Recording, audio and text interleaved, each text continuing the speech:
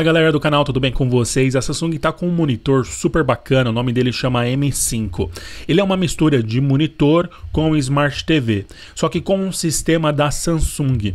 Eu acredito por conta da fase da pandemia, onde as pessoas tiveram que começar a fazer home office e tudo mais, a Samsung viu que esse é um mercado muito interessante, porque a pessoa está ali trabalhando, mas às vezes ela quer consumir um conteúdo na TV, tem alguma notícia, alguma informação importante, ou você quer ter ali dentro do seu é, quarto, se você mora em apartamento, às vezes você precisa revezar uma Smart TV com alguém, você quer ter a opção no monitor para poder estar tá assistindo TV. Ela não vai ter, é, TV aberta, né? Mas como tem um sistema Tizer da Samsung, você consegue ali ter muitas funções, principalmente por conta também de você ter as entradas HDMI. Esse é um monitor que tem duas entradas HDMI. Então, até para você que quer jogar, por exemplo, ah, você tem um PS5, tem PS4, um Xbox, PS3, qualquer videogame que tenha entrada HDMI, você consegue deixar o cabo conectado em uma das HDMIs e na outra HDMI você conecta o teu computador.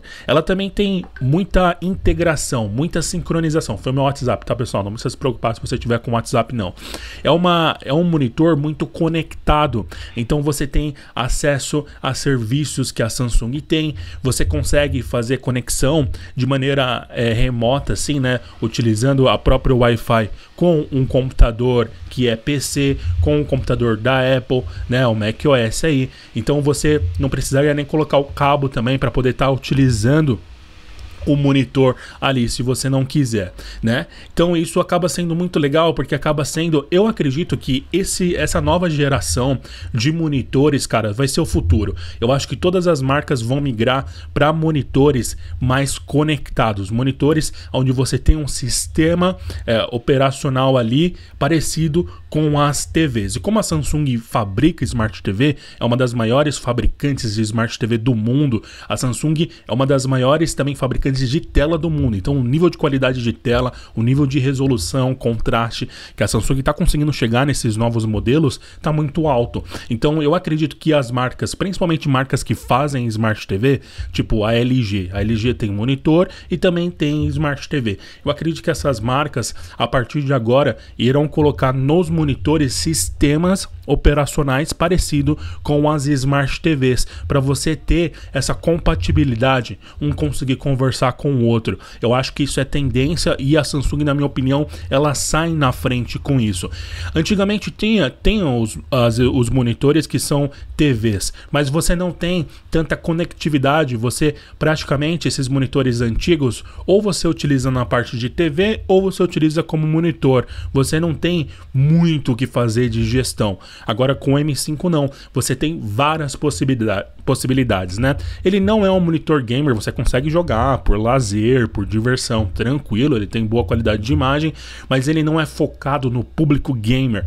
Normalmente quem é público gamer não vai querer ter uma Smart TV no monitor, quer usar só para jogo, e aí precisa ter taxa de atualização muito rápido, precisa ter uma tela ultra wide, ele tem um modo ultra wide que você consegue simular ali, né? Ele deixa as bordas é, pretas ali, ele cresce. Isso é legal para o jogo porque você aumenta um campo de visão na hora que você estiver jogando, mas ele não é um monitor focado no público é, específico gamer só mas sim no público maior das pessoas que querem ter bons monitores. Ah, você trabalha com CorelDRAW, você quer fazer uma arte, você trabalha com Photoshop, nada muito muito profissional, porque quem é muito profissional vai buscar monitores que são específicos para usar para aquele software, né? Que são específicos. Quem edita vídeo vai querer um monitor específico para vídeo, quem edita foto específico para foto.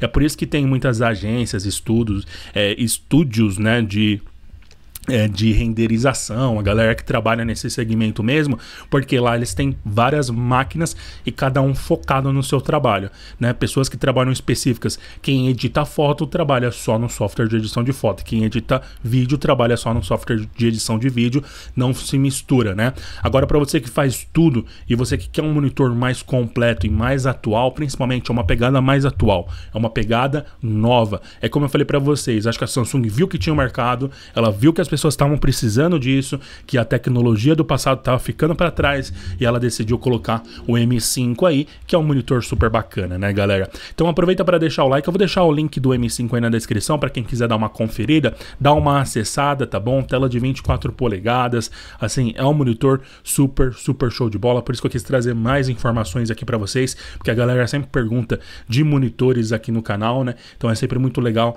a gente estar tá trazendo mais novidades, está trazendo mais informações para a galera que curte acompanhar. Dá uma acessada no link da descrição, eu tento sempre fazer uma pesquisa também de preço mais baratinho do Brasil aí pro Tizer para esse monitor, pro M5, tá bom?